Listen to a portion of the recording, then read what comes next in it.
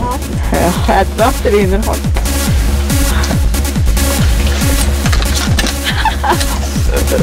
Han taper, han.